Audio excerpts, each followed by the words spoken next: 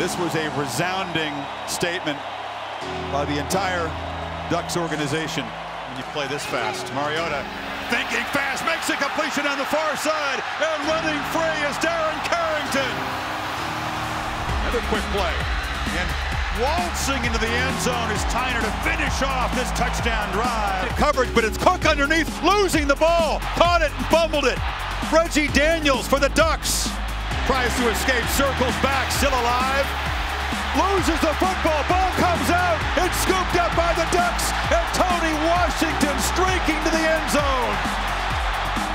Freeman running right, cuts it back, muscles into the end zone.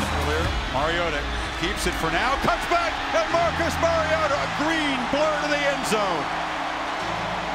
We believe a ton in, in, in, in our deal, and we believe a ton in who we are, and we've got a great team, great, great team of guys. 34 unanswered points to turn a close game into a beatdown.